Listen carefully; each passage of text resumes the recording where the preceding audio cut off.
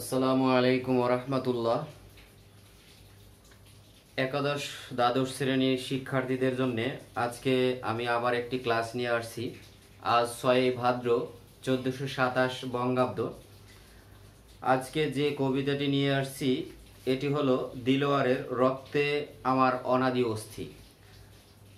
প্রথমে কবিতার নামটা একটু ভাঙানো যাক মানে বিশ্লেষণ করা যাক। এই কবিতাটি মাত্রাবৃত্ত ছন্দে রচিত। অনাদি শব্দের শাব্দিক অর্থ আসে শাশ্বত, চিরকালীন, অর্থাৎ আদিহীন। বইছে রক্তে বয়ে চলা যেটা, সব সময় চিরকালীন। আর অস্থি শব্দের অর্থ হাড় কবিতায় যাই, পদ্মা তোমার যৌবন চাই। পদ্মা তোমার যৌবন চাই। আসলে পদ্মা নদীর কথা কেন তুললেন? আর তার কেন যৌবন চাইলেন? আমরা ব্যক্তি জীবনে যৌবনকালে কিছু কিন্তু করতে পারি, আর বৃদ্ধকালে কিছুই করতে পারি না। যদি কপোতাক্ষ নদের কথা উল্লেখ করতেন, তাহলে ওটা শুকিয়ে গেছে, মরে গেছে। যদি বুড়িগঙ্গার কথা উল্লেখ করতেন, তাহলে ওটা পানি পচে গেছে। তাহলে এই নদী কথা উল্লেখ করেন নাই ঠিক এই জন্যে। পদ্মা তোমার যৌবন চাই। যৌবনে এটা হলো মূল কথা, লক্ষ্য অর্জনের শক্তি প্রার্থনা। আর পদ্মার যৌবন দিয়েই পদ্মার জল অন্যান্য নদী খালে বিলে গিয়ে কিন্তু এই জল দিয়েই মানুষে অন্যান্য কাজ করে থাকে। যমুনা তোমার প্রেম। এখন আর একটা কথা হলো, পদ্মার জল কখনোই কিন্তু শুকায় না, এটা মরবে না। যমুনা তোমার প্রেম। মূল কথা যেখানে যমুনা নদীর তীরে তাজমহল অবস্থিত। এইখানে হৃদয়ের বিশালতা প্রকাশ করে- করছেন। সুরমা তোমার কাজল বুকের পলিতে গলিত হেম। সুরমা তোমার কাজল বুকের সুরমা নদীর স্রোতে পলি ভেসে আসে, আর এখানে ফসল উৎপন্ন হয় বেশি। সবার জেনে রাখা দরকার যে, সুনামগঞ্জের বিলে কিন্তু প্রচুর ধান হয়। এই যে পলিমাটি পড়ে, আর পলিমাটি বলছে গলিত হেম। হেম শব্দের অর্থ সুবর্ণ সোনা। আর এই যে ধান ফলে, এটা হলো সোনার সমতুল্য। আর গলিত বলতে পলি মাটি যেটা পড়ে আসলে বন্যা হলে দেখা যায় প্রচুর পলি পড়ে আমাদের গ্রামে সচরাচর দেখা যায়, আর এটা কিন্তু নরম, তুলতুলে। এই জন্য গলিত হেম, সুবর্ণ সোনা। হেম শব্দের অর্থ। তাহলে কি দাঁড়াল?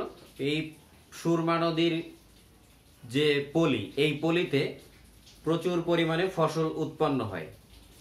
পদ্মা, যমুনা, সুরমা, মেঘনা গঙ্গা কর্ণফুলি এখানে বাংলাদেশের অন্যতম বৃহৎ নদীগুলোর কথা উল্লেখ করছে। মেঘনা আসলে এই মেঘনা নদীর জল দিয়ে মানুষে মাছ ধরে, তারপরে ধান উৎপাদন করে। আর গঙ্গা, এখানে গঙ্গাটা হলো পবিত্রতার প্রতীক। আর গঙ্গা কিন্তু অন্যান্য নদীর তুলনায় অনেক বড়, বহমান নদী। এই জন্যে কারণ এই গঙ্গার জল হিন্দুদের কাছে পবিত্র। আর কর্ণফুলী কেন?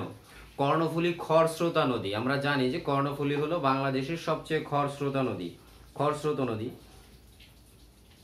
তাহলে কি দাঁড়াল? পদ্মা, যমুনা, সুরমা, মেঘনা, গঙ্গা, কর্ণফুলী। এই যে নদীদের, নদীর যে আবহমানতা এটা তুলছেন, তুলে আনছেন যে কারণ হচ্ছে খরস্রোতা নদী, এটা কখনো বন্ধ হয়ে যাবে না। এখান থেকে মানুষের কি? প্রতিনিয়ত উপকার হবে। এই জন্যে। তোমাদের বুকে আমি নিরবধি গণমানবের তুলি। নিরবধি মানে কি? সব সময় বয়ে চলা। আর কার তুলি কিসের? গরিব মানুষের জীবিকার তুলি। কারণ সাধারণ মানুষ এ থেকে উপকৃত হয়। এখন এখানে গণমানবের তুলি। মানে এই নদী দ্বারা সর্বদা মানুষ কি হচ্ছে? উপকার হচ্ছে। আর এই জন্য গণমানবের তুলি কে? নদী। কত বিচিত্র জীবনের রং। চারিদিকে করে খেলা।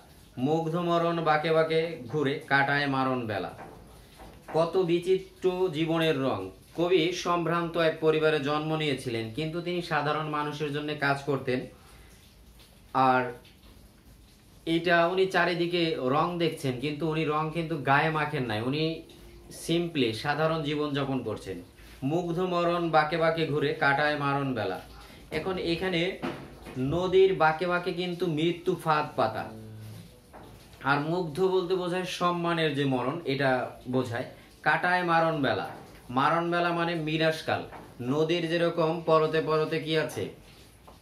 মরার ফাঁদ পাতা আছে। এরকম আমাদের জীবনেও কিন্তু প্রতিটা ক্ষেত্রে ক্ষেত্রে বিপদ আছে, বাধা আছে। আর সেটা কি? মরণের, মরণ হতে পারে যে কোনো সময়। কাটায় মারণ বেলা। আর সেটা কি করে? বিনাশকাল বিনাশ করে দিতে পারে। বিনাশের সময় আসতে পারে। রেখেছি আমার প্রাণ স্বপ্নকে বঙ্গোপসাগরেই। ভয়াল ঘূর্ণি সে আমার ক্রোধ, উপমা যে তার নেই। রেখেছি আমার প্রাণ স্বপ্নকে বঙ্গোপসাগরেই। বঙ্গোপসাগরে কেন রাখলেন? আরও তো বড় বড়, ছোট ছোট সাগর আছে, বড় বড় সাগর আছে। বঙ্গোপসাগর আমাদের বাংলাদেশের দক্ষিণ অঞ্চলে। আমরা একটা জিনিস খেয়াল করি, বঙ্গোপসাগর থেকে যদি ঘূর্ণিঝড় ওঠে, এইটা কিন্তু টেকনাফ থেকে তেঁতুলিয়া পর্যন্ত কি হবে? এইটার প্রভাব পড়বে। ঠিক ওইভাবে যখন ভয়াল ঘূর্ণি, সে আমার ক্রোধ, উপমা যে তার নেই। উপমা কি দেব? এর তুলনা কি দেব? তুলনা তো নেই। আর এই ভয়াল ঘূর্ণি যেমন সবখানে প্রভাব ফেলে, ওইভাবে সাধারণ জনগণ যদি খেপে যায়, তাহলে কি হবে? সাধারণ জনগণ খেপে গেলে এই প্রভাবটাও কিন্তু সারা বাংলাদেশে পড়বে। এই ক্রোধ জলে আমার স্বজন। এই ক্রোধ জলে আমার স্বজন মানে হচ্ছে মানুষের যখন অধিকার নষ্ট হয় ক্রোধ জলে তখন বাংলাদেশের সবখানে। আর এই স্বজন কারা? সাধারণ মানুষ, আর নির্যাতিত মানুষ, নিপীড়িত মানুষ। গণমানুষের, গণমানবের বুকে যখন বোঝাই প্রাণের জাহাজ প্রাণের জাহাজ মানে জনতা, জনসম্পদ। এরাই কিন্তু আমাদের দেশের সম্পদ। এখানে আমরা সুকান্তের একটা কবিতা আছে কিন্তু, ওটার নাম হলো সিগারেট। এই সিগারেট কবিতায় দেখা যায় যে বলে দিন আর রাত্রি রাত্রি আর দিন তোমরা আমাদের শোষণ করছ সর্বক্ষণ। আমাদের বিশ্রাম নেই, মজুরি নেই নেই কোনো অল্প মাত্রার ছুটি। তাহলে খেয়াল করা যাক, এখানে সিগারেট কবিতা, সুকান্তের আর একটা কবিতা আছে, কলম কবিতা। এই কবিতাগুলি হচ্ছে কি? নির্যাতিত মানুষের জাগরণ ভাব জাগিয়ে তোলার জন্য। আবার আর একটা কবিতা আছে, মজুরদের ঝড়। ঝড় আসছে, সেই ঝড়। যে ঝড় পৃথিবীর বুক থেকে জঞ্জালদের টেনে তুলবে, আর হুঁশিয়ার মজুর, সে ঝড় প্রায় মুখোমুখি।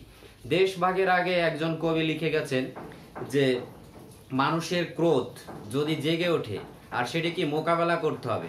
আর সেটা সবখানে ছড়িয়ে দিতে হবে? আর সেটা কাদের দ্বারা সম্ভব? সাধারণ মানুষের দ্বারা। দেশ ভাগের পরে আর কবি এলেন, দিলোয়ার। তিনি এসেও কিন্তু এই মানুষের ভেতরকার যে ক্রোধটা, সাধারণ মানুষের ক্রোধ, এটা প্রকাশ করছেন যখন বোঝাই প্রাণের জাহাজ, যখন জনতা জনসম্পদ বোঝাই থাকে নরদানবের মুখে। নরদানব শব্দের অর্থ হচ্ছে নরপশু। নরপশু যারা মানুষের অধিকার নষ্ট করে, মানুষকে বঞ্চিত করে। কলম কবিতায় যেমন বলছে যে, আর কালো কালি নয়, রক্তে আজ ইতিহাস লিখে, দেওয়ালে দেওয়ালে এটে। হে কলম, আনো দিকে দিকে। মানে কি? রক্তের ইতিহাস লিখতে বলছে, এইভাবে এই যে সাধারণ মানুষ যখন কোনো কিছু করার চেষ্টা করে, তখন এই দানবেরা কি করে? সেটাকেই ধ্বংস করে দেয়, সেটা গিলে ফেলে। আর এই জন্যে জনগণ তখন খেপে ওঠে, আর সেটা সবখানে ছড়িয়ে যায়। পদ্মা সুরমা, মেঘনা যমুনা, অশেষ নদী ও ঢেউ। অশেষ নদী ও ঢেউ এখানে আবহমান ছুটে চলা। নদী যেরকম শুরু থেকে মানে আমরা জন্মের পরে দেখি নদী কিন্তু ছুটে চলছে, বয়ে চলছে, ইতিহাসেও তাই লেখা। এভাবে এর কোনো বিরাম নেই। আমাদেরও ভেতরে বাঙালি যে জাতিসত্তা, এই জাতিসত্তার ভেতরে আমাদের বয়ে চলা, আবহমান কাল থেকে ছুটে আসা, এটার কোনো আদি নেই, এটার কোনো অন্ত নাই, এটা সব সময় চলে। আমাদের রক্তে রক্তে কি থাকে? দেশপ্রেম থাকে। নদী যেমন বহুকাল ধরে বয়ে আসছে, তেমনি করে আমাদের রক্তে রক্তে দেশপ্রেম চলে আসছে। একটু সামনের দিকে আগাই। রক্তে আমার অনাদি অস্থি বিদেশে জানে না কেউ। এটা হয়তো বিদেশের মাটিতে কোনো নাগরিক, কোনো জন জানে না। কিন্তু কে জানে? এটা জানে আমার দেশের মানুষ। আমার দেশের ইতিহাস জানে। আমাদের আমার দেশের সভ্যতা জানে যে আমাদের রক্তে রক্তে কি বইছে? আমাদের রক্তে রক্তে আবহমান কাল থেকে দেশপ্রেম বইছে। এ হলো কবিতা। কবিতার মূল কথা যেটা, সেটা হলো যে আমরা নদীমাতৃক দেশে জন্মগ্রহণ করছি। পদ্মা, মেঘনা, যমুনা, সুরমা, তারপরে গঙ্গা, কর্ণফুলী, এইসব নদীর যে যৌবন আর এই সব নদীর যে জল, এই জল দ্বারা কৃষক, শ্রমিক সবাই উপকৃত হয়, ধান চাষ হয়, ফসল ফলে, অনেক কিছু হয়। আর এইখানে যখন জনগণ কোনো কিছু অধিকার তাদের নষ্ট হয়ে যায়, তখন ফিরে পাওয়ার চেষ্টা করলে সেটা কি হয়? সেটা নরদানবেরা এটা নষ্ট করে দেয়। আর আমাদের বিদেশের কেউ জানে না যে আমাদের আবহমান কাল থেকে নদী যেরকম বয়ে চলে যায়, ছুটে চলে, সেভাবে আমাদের ভেতরেও কি? দেশপ্রেম আবহমান কাল থেকে শাশ্বত, চিরকালীন, এটা স্থায়ী, হাড়ের মতো, যেরকম মানুষের দেহে হাড় স্থায়ী, এটা ভেঙে চুড়ে যায় না। আমাদের দেশপ্রেমটাও এরকম ক্ষয়উষ্ণ নয়, এটা চিরস্থায়ী। একটু শব্দার্থ এখানে বেশি শব্দার্থ নাই, একটু খেয়াল করি। হেম শব্দের অর্থ আসলে সোনা বা সুবর্ণ। সোনা বা সুবর্ণ।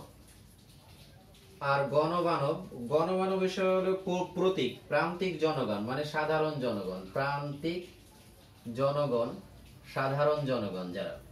আর মারণ বেলা মানে বিনাশকাল বিনাশকাল। নরদানব মানে কি? নরদানব। নরদানব শব্দের অর্থ হলো নরপশু। নর পশু। আর একটা রয়ে গেল না ঘূর্ণি। ঘূর্ণি অর্থ কি? ঘূর্ণমান জলরাশি ঘূর্ণমান জলরাশি।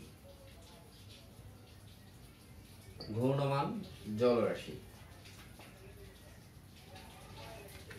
রক্তে আমার অনাদি অস্থি কবিতা এখানে শেষ। পরবর্তীতে ইনশাল্লাহ অন্য কোনো ক্লাস নিয়ে আসব। সেই পর্যন্ত তোমাদের শুভকামনায় এখানে বিদায় নিচ্ছি। খোদা হাফিজ।